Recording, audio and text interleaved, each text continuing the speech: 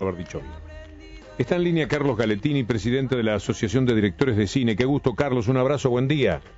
Buen día, mi admirado Víctor Hugo. Qué gusto hablar con usted. Muchas gracias, Carlos. Cuéntenos el día especial que están viviendo y cómo lo van a celebrar.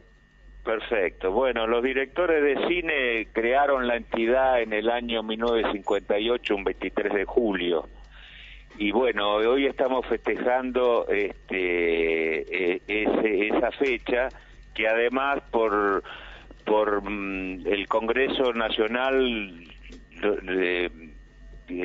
dio al 23 de julio como el Día del Director Audiovisual. Entonces estamos festejando ese día, pero además estamos festejando o inaugurando la casa del director de audiovisual.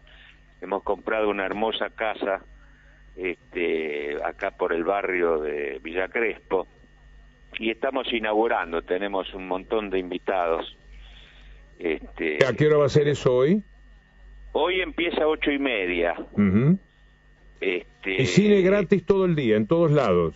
Y cine gratis en todos lados, sí, en todos lados de, de, varios cines. El Gomón, el Arte, el arte Multiplex de Belgrano, el Bama Centro y sí, en varios también del Inca. Claro, en los espacios Inca de todo el país, sí. De todo el país, sí, sí. Así que bueno, este, parece que los directores este, empezamos a, a, ser un poco más reconocidos que como hasta ahora, ¿no? Carlos, quería saludarlo. En usted, como presidente de la Asociación de Directores de Cine, a todos los que nos embellecen la vida con su creatividad y el coraje de afrontar el hecho artístico, muchas veces sin saber qué pasa, si van a ir dos millones o cinco espectadores. Y lo mismo le meten meses y meses para adelante. Muchas gracias, ¿eh? No, gracias a usted, Víctor Hugo. Usted sabe que yo lo respeto mucho y también me aclara muchas veces mis pensamientos.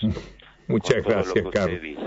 Carlos Galetini, presidente de la Asociación de Directores de Cine. A propósito, esto fue un saludo más que una nota de este 23 de julio en el que se celebra el Día del Director Audiovisual.